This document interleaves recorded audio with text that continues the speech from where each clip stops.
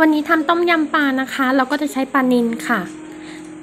ตั้งเครื่องต้มยำเลยนะคะ มีตะไคร้ใบมะกรูดหอมแดงนะคะ แล้วก็พริกค่ะ จากนั้นใส่เนื้อปลาลงไป ตรงนี้เราจะเปลี่ยนเป็นเนื้อสัตว์อื่นๆ ก็ได้นะคะ ตามด้วยมะเขือเทศแล้วก็เห็ดเข็มทองค่ะ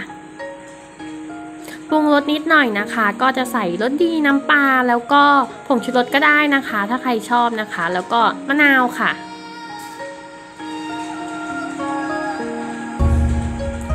ต้มให้เข้ากันนะคะ ตอนนี้กลิ่นหอมมากๆเลยค่ะ